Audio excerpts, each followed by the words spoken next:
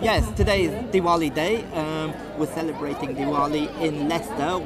It's the biggest celebration outside India, and we've got crowds of thousands and thousands of people despite the weather. And we're so proud that we live in such a wonderful, harmonious city.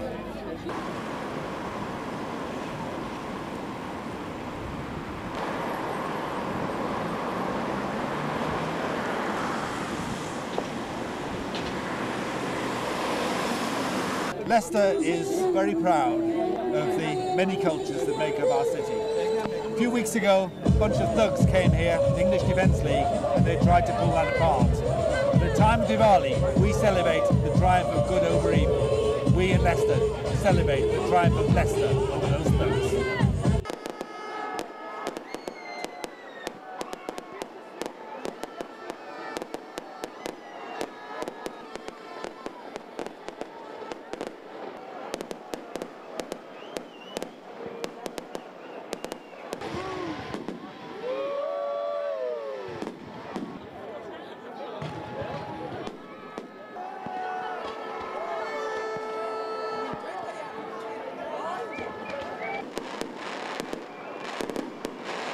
It's wonderful. It's beautiful here. We've had a good turnout and happy Diwali and happy New Year to everyone out there.